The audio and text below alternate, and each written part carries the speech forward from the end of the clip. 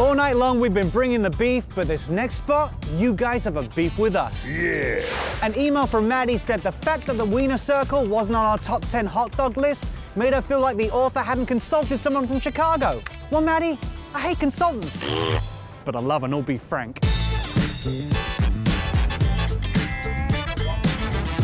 I guess we owe you an apology, don't we? Because we haven't been here yet. Absolutely. Well, let's be honest, everyone in Chicago has been here. all over the world, actually. Well, yeah, everyone at one point or another has got their wiener on at the Wiener Circle. Definitely. We have been here for 36 years. You only look 21. Yeah. We're open until 4 o'clock in the morning. Uh, after hours, it turns into a whole different place. It gets crazy here. They yell at you? They are so mean to you. Pretty vulgar, pretty aggressive in their actions. It's a raucous event. This is a fun story. Where you from? Miami. Okay, what did you come here for today? I came for the chocolate shake. you just found out what that is, didn't you? Yes, I just found out. This is our beef episode. We serve a classic Chicago staple in a classic location, which is your. Char Red Hot. You and I should make a char red hot to signify that Chicago's best is finally here Absolutely. at Wiener Circle. Finally. Why are you guys Chicago's best? All we're trying to do is make wieners great again, as you can tell. Thank you, darling.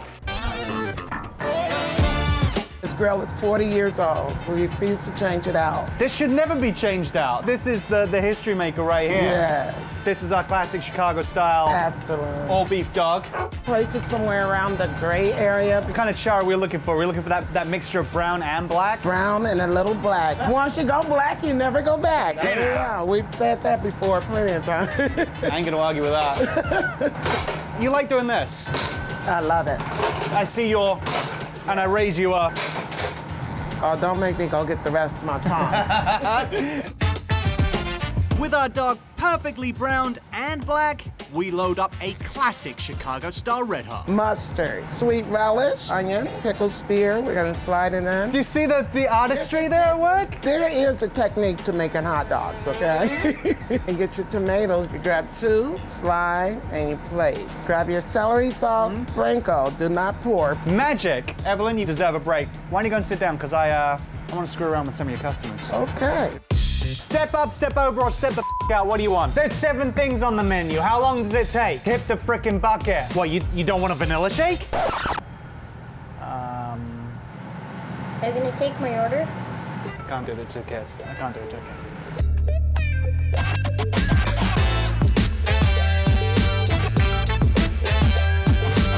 I do not need to see my therapist this month.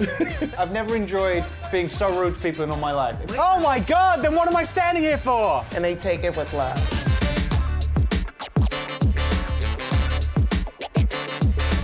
Talking about love, I love a good char dog, and there is no one that does it better than you guys. Those flames are really adding that snap and super charred exterior.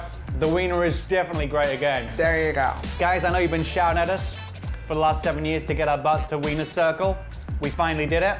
Normally, I thank them right now, but in the time on a tradition of the Wiener Circle, thank you very much for your suggestions. Oh, before we hit the road, Yeah. can I grab a chocolate milkshake? Forget it.